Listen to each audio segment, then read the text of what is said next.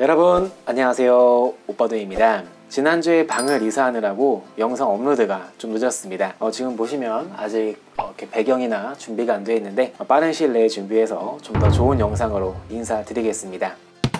이번 강의는요 지난번에 약속드렸던 내용 중에 하나죠. 대시보드 만들기를 할 때 알면은 굉장히 좋은 팁 중에 하나인데요. 매크로를 사용하지 않고 한 번의 클릭만으로 마지막 셀로 이동하는 방법에 대해서 알아보겠습니다. 화면을 같이 볼게요.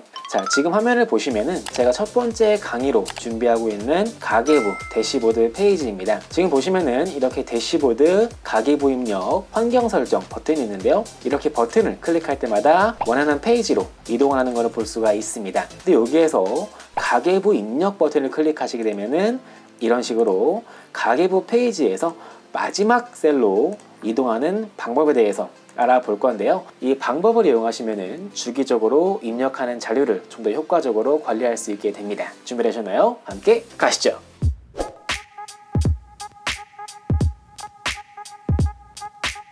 자, 이번 강의의 내용을 이해하기 위해서는 지난번에 올려드렸던 오프셋 또는 인덱스 동적 범위에 대해서 어느 정도 숙지하고 있어야 하는데요. 이번 강의에서는 그 내용에 대해서 잠시 짧게 짚고 넘어가도록 하겠습니다. 일단 첫 번째로 동적 범위를 효율적으로 사용하기 위해서는 고유값, 즉 빈칸이 존재하지 않으며 각 행을 대표할 수 있는 중복되지 않는 값 예를 들어서 사원번호 또는 재고번호 또는 주민등록번호 등이 있겠죠. 이러한 고유값이 있을 때 즉 빈칸이 존재하지 않는 값들이 이런 식으로 나열되어 있을 때이 범위가 이런 식으로 값이 늘어날 때마다 확장되는 동적 범위를 만드는 방법에 대해서 알아봤는데요. 만약에 이 중간 사이사이에 빈칸이 있을 경우에는 이전에 배웠던 오프셋 또는 인덱스 동적 범위로는 제대로 사용할 수가 없게 됩니다. 그래서 그럴 때에는 이번 강의에서 배우는 매치 함수를 이용해서 문제를 해결할 수 있습니다. 그래서 매치 함수를 짧게 알아보고 갈게요. 일단 매치 함수는요. 찾을 값을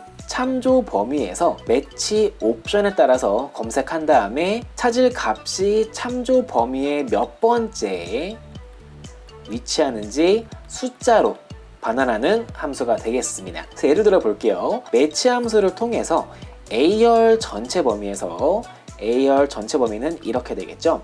A열 범위에서 이은지라는 값을 검색을 할 거예요. 그러면은 하나, 둘, 셋, 넷, 다섯, 여섯 번째 위치하고 있죠. 그래서 매치 함수의 결과값은 6이 나오게 될 겁니다.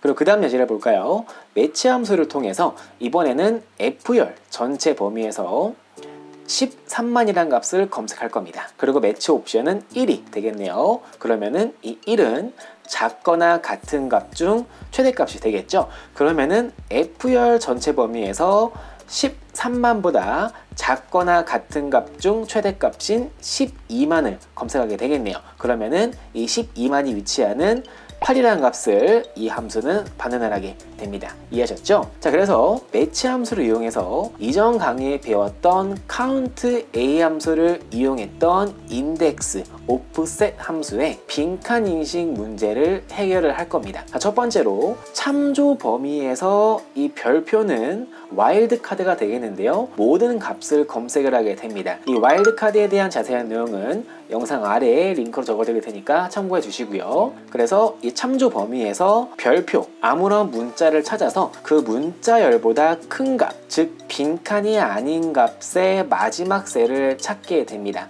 자, 다만 이 수식을 이용하시게 되면은 이 수식에서는 숫자를 빈칸으로 인식을 하기 때문에 숫자가 입력된 참조 범위에서 마지막 셀을 검색하기 위해서는 이 두 번째 공식을 이용하셔야 되는데요. 마찬가지로 이 두 번째 공식의 경우에는 참조 범위에서 엑셀에서 입력 가능한 가장 큰 숫자인 9.9999 곱하기 10의 307승보다 작은 값을 검색을 해야 됩니다. 즉 이 숫자는 엑셀에서 입력 가능한 가장 큰 숫자이기 때문에 어떠한 숫자가 입력되더라도 이 숫자보다는 작은 값이 입력이 되겠죠. 그래서 이 참조 범위에서 숫자가 입력된 마지막 셀을 반환을 하게 됩니다. 이해하셨나요? 자, 그래서 매치 함수와 오프셋 함수를 응용해서 이런 식으로 동적 범위를 만들 수가 있는데요. 공식은 이렇게 됩니다. 그래서 문자 또는 텍스트가 입력된 범위에서는 아래 공식을 이용하시면 되겠고요. 숫자가 입력된 범위에서는 이 두 번째 공식을 이용하시면 되는데요. 여기에 관련된 내용은 우측 상단에 링크 클릭하시면 이전에 올려드린 오프셋 동적 범위 관련 강의가 있습니다. 또는 영상 하단에 링크를 클릭하시면 저희 홈페이지에 좀더 자세한 내용을 적어드렸으니까 자세한 내용은 저희 오빠도 홈페이지에서 참고하시면 좋을 것 같습니다. 자 일단 홈페이지에서 예제 파일 다운받아 주시고요. 예제 파일 다운받으시면은 이런 식으로 거래처 테이블, 제품 테이블, 그리고 주문을 입력하는 신규 주문 테이블이 있습니다. 이번 강의에서는 이런 식으로 버튼을 클릭하게 되면은 신규 주문을 입력하기 위한 마지막 셀로 입력하는 버튼을 만들어 볼 건데요. 일단 예제 파일을 같이 볼게요. 자 우선 제품 시트로 이동하신 다음에 여기에 제품명과 단가가 입력된 내용이 들어 있습니다. 자, 여기에서 아무 곳이나 클릭하신 다음에 컨트롤 A키로 전체 범위 선택하시고요. 여기에서 어, 자 엑셀 버전을 한글로 바꾸고 올게요. 키보드 컨트롤 A키로 전체 범위 선택하신 다음에 삽입에 오셔가지고요. 표를 눌러서 이렇게 표 형식으로 바꿔줄 건데요. 여기 표 만들기에서 머리글 포함에 체크하는 거를 잊지 말아주세요. 지금 보시면 여기 머리글이 포함되어 있죠? 그래서 머리글 포함 체크하시고 확인 눌러서 표로 만들어 주겠습니다. 그리고 여기 디자인 탭에 오셔가지고요. 이 표 이름을 테이블 제품으로 만들어 줄게요 마찬가지로 거래처 시트에서도 이런 식으로 표로 변경하신 다음에 표 이름을 테이블 거래처로 바꿔주시면 될 것 같습니다. 자 그리고 주문 시트로 넘어오셔가지고요. 이 거래처와 제품의 데이터 유효성 검사를 통해서 저희가 원하는 값만 입력할 수 있도록 만들어 줄 거예요. 자, 그래서 A3셀 클릭하신 다음에 컨트롤 쉬프트 아래 방향 키로 두 번 클릭하셔 가지고요. A열 전체 범위 선택하신 다음에 데이터 오셔가지고요. 데이터 유효성 검사를 클릭하신 다음에 여기에서 제한 대상을 목록으로 입력해 주시고요. 여기에다가 indirect 함수를 통해서 저희가 방금 입력한 테이블 거래처 테이블 있죠? 표가 있죠? 그 표에 대한 값을 데이터 유효성 목록으로 불러올 겁니다. 그래서 확인 눌러주시면은 이런 식으로 저희가 아까 만들어줬던 테이블 거래처에 있는 값들을 선택할 수 있는 것을 볼 수가 있습니다. 그래서 만약에 테이블 거래처에 제가 이런 식으로 오빠도 엑셀2라는 값을 입력을 했어요. 그러면 여기 주문 시트에서 제품 열을 보시면은 이런 식으로 값이 추가된 것을 볼 수가 있죠. 마찬가지로 음, 마이크로 소프트를 추가하시게 되면은 주문 시트에서 이런 식으로 값이 추가된 것을 볼수 있습니다. 마찬가지로 제품도요. 여기에서 B3셀 클릭하신 다음에 컨트롤 시프트 아래 방향 키 두 번 눌러서 전체 범위 B를 선택하신 다음에 데이터 유효성 검사 오셔가지고요. 이번에는 목록에서 indirect 함수를 넣어 주시는데 아까 보시면은 테이블 제품에는 열이 두 개 있었어요. 첫 번째는 제품열, 두 번째는 단가열이 있었죠. 그래서 이번에는 테이블 제품표에서 제품에 해당하는 열만 불러오기 때문에 이런 식으로 indirect 함수를 통해서 값을 불러올 겁니다. 그리고 확인 눌러주시면은 음, 오류가 났네요. 아, 제품이 아니라 제품명이죠. 자, 그래서 데이터 유효성 검사에서 테이블 제품의 제품명에 해당하는 열 값을 불러올 겁니다. 그리고 확인을 넣으시면은 이런 식으로 마찬가지로 저희가 원하는 값만 입력할 수 있는 데이터 유효성 목록 상자를 만들 수 있게 됩니다. 자 그리고 단가의 경우에는 제품 시트에서 VLOOKUP 함수를 통해서 이 제품 값을 제품 시트에서 두 번째 열에 해당하는 값을 정확히 일치하는 값으로 불러오게 될 겁니다. 그쵸? 그리고 가격은 단가 곱하기 수량이 되겠죠? 그럼 이렇게 표가 완성이 됐습니다. 여기에 값을 넣어 줄게요. 자 그리고 두 번째로 셀 이동을 위한 머리글을 만들어 줄 건데요. 여기 2열 전체 선택하신 다음에 컨트롤 시프트 더하기 버튼으로 열을 두 개 추가해 주겠습니다.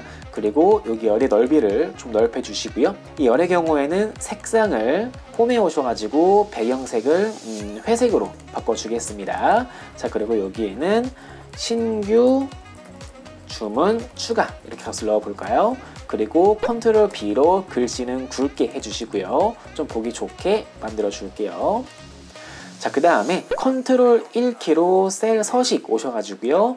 테두리에서 이 검은색 테두리로 좀 위에다가 굵게 넣어줄게요. 자 그러면은 이렇게 버튼이 생긴 걸 볼 수가 있죠. 자 그리고 여기에서 아무 곳이나 클릭하신 다음에 어, G5셀을 클릭해 볼까요? G5셀을 클릭하신 다음에 셀 이름 상자에 오셔가지고요. 셀 이름을 마지막 셀로 만들어 주겠습니다. 그쵸? 자 그러면은 여기에서 마지막 셀을 클릭하시면은 이렇게 셀로 바로 이동하는 것을 볼 수가 있어요.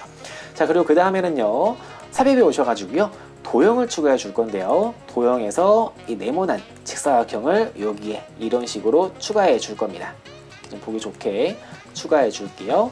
도형에서 도형 채우기는 없음으로 도형 윤곽선도 없음으로 바꿔주시고요.